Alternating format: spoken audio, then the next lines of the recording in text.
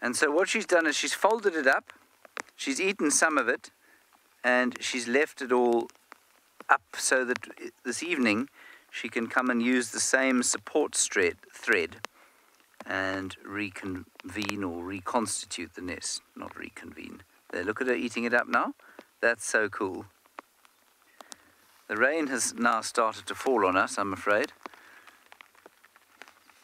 It's not particularly dire just yet. But we often talk about this and seldom see it. Another one there. Would be very small though. Hmm.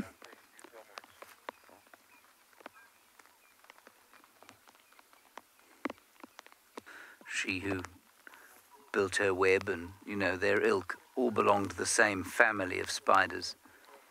And that includes these guys, the golden orb web spiders.